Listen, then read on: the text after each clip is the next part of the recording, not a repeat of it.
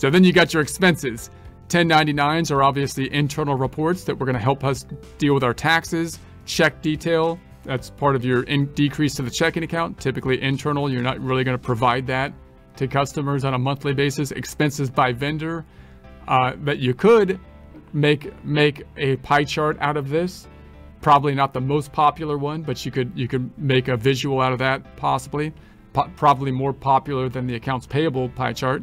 Uh, open purchase orders, internal, to help us order our, our invoices.